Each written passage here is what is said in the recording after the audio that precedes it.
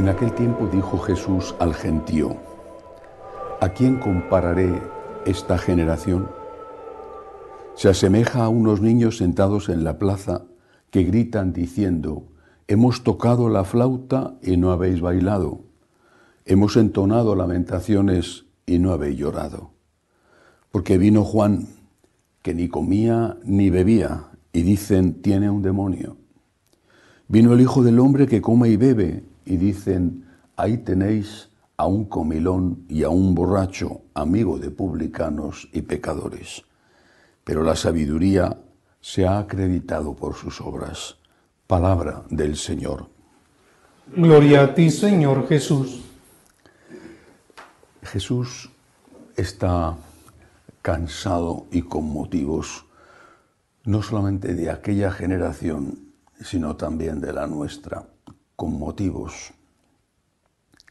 ¿Cuántas veces personas o incluso países están alejados o se alejan de Dios porque va mal?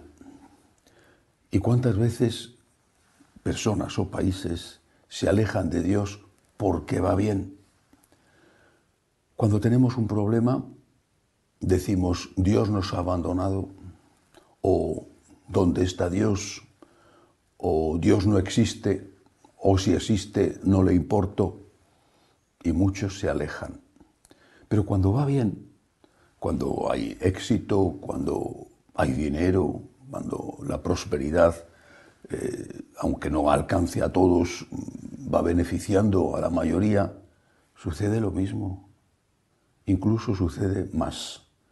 Cuando hay dinero, los países, las personas, las familias se vuelven más ateas, agnósticas o secularizadas, se aprueban leyes horribles, antinaturales, se aprueban leyes que maltratan a los más débiles, en lugar de decir, tengo más, por lo tanto, tengo más motivos para agradecer, decimos o dicen, tengo más, ya no necesito a Dios.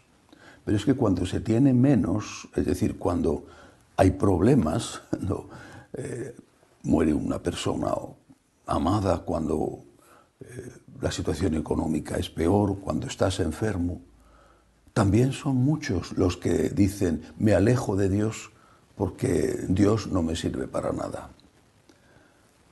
Es lo que dice el Evangelio de hoy. Hemos tocado la flauta y no habéis cantado. Hemos entonado lamentaciones y no habéis llorado. Es decir, si va mal, porque va mal, te alejas de Dios. Y si va bien, porque va bien, te alejas de Dios. ¿Qué es lo que tendríamos que hacer? Estamos en el Adviento, el Señor nos está llamando a la conversión. El Adviento es un tiempo de preparación, de conversión. ¿Qué tendríamos que hacer? Cuando va mal, está inevitablemente el misterio. El misterio nos envuelve, el misterio nos envuelve como si fuera una de esas nieblas espesas, un día húmedo, gris del invierno que hace frío, que la humedad te penetra en los huesos. Entonces lo que tienes que hacer es calentar el corazón, no solamente tu cuerpo, calentar el corazón.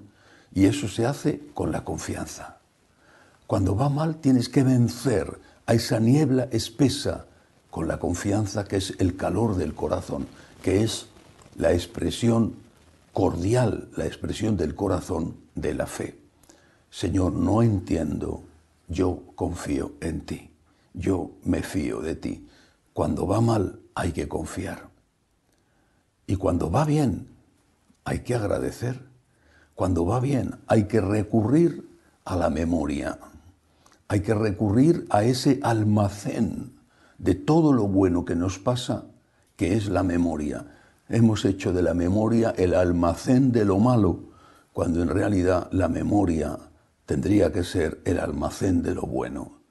Hay que meter en ese almacén, en la memoria agradecida, hay que meter, incluir, poner ahí todas las cosas buenas que se van acumulando cuando va bien, lo mismo que cuando tenemos buenos ingresos, vamos poniendo el dinero en una cuenta de ahorros por si acaso algún día esos ingresos bajan. Cuando va bien, tenemos que dar gracias a Dios y almacenarlo en la memoria de nuestro corazón para cuando va mal. El Señor nos hace pasar, o por lo menos permite que nos pasen, momentos de dificultades, pero también momentos muy hermosos. Tenemos que dar gracias a Dios cuando Él toca la flauta de la alegría, cuando van bien las cosas. Y tenemos que calentar nuestro corazón recordando cuando va mal, recordando lo que ha ido bien y diciéndole, Señor, yo, pase lo que pase, con tu gracia, Señor, yo confío en ti. Y de esa forma el Señor no se cansará de nosotros porque somos una generación rebelde y bastante obstinada. Cuando va mal nos alejamos y cuando va bien también. Ponemos contra Dios los dones de Dios y cuando va mal no nos acordamos de los muchos dones que nos ha dado antes. Que así sea.